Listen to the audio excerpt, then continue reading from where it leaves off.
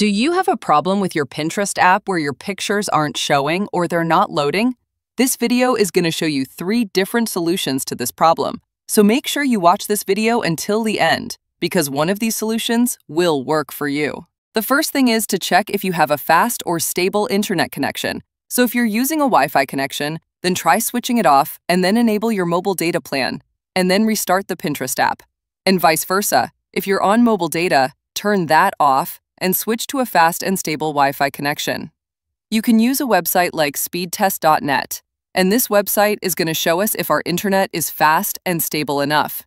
If you're having speeds that are above 3 or 5 megabits per second, then the internet is not the problem.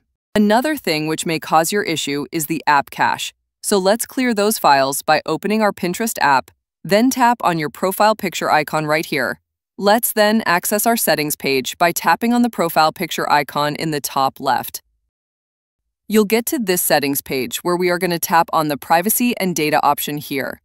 Scroll to the bottom of the page and then tap on the clear app cache option. This will clear the cached files in your Pinterest app, which may cause your app to not load or show the photos. So restart Pinterest and then tell me if this fixed your issue. The last solution which I have for you is to reinstall the Pinterest app. This is pretty easy and straightforward, so just long press the app, then remove app right here. A pop-up window will appear, and then you're going to click this delete app option.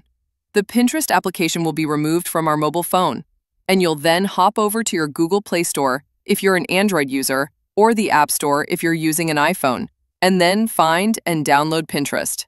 So these three steps should fix your problem, and the photos should now load properly.